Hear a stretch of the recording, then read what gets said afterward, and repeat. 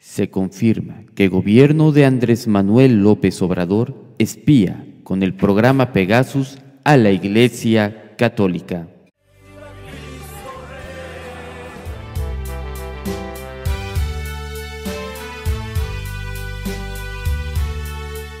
Habla el Padre Jesús Segura y este, los seguimos invitando a que se suscriban al canal porque este canal ha hecho mucho bien a toda la comunidad y que viva Cristo Rey.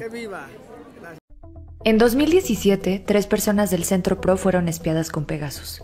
Una investigación de la Red en Defensa de los Derechos Digitales, SocialTIC y Artículo 19, con el respaldo técnico de Citizen Lab, encontró que recibieron mensajes infecciosos cuando se defendían algunas de las causas de derechos humanos más emblemáticas del sexenio.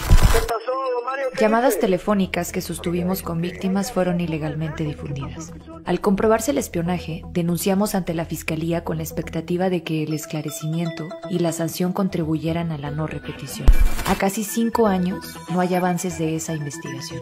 Paralelamente, este sexenio hemos seguido acompañando a víctimas, señalando los impactos de la creciente militarización y defendiendo derechos humanos. A finales de 2022, dos personas de nuestro equipo recibieron correos electrónicos en los que la empresa Apple les notificó que sus teléfonos fueron vulnerados por atacantes patrocinados por un Estado, en razón de lo que hacemos. Con la ayuda de la red SocialTIC y Artículo 19, los teléfonos fueron analizados y Citizen Lab confirmó que de nuevo y en repetidas ocasiones habíamos sido atacados con Pegasus. Dos exenios dos ataques contra la misma organización por defender derechos humanos.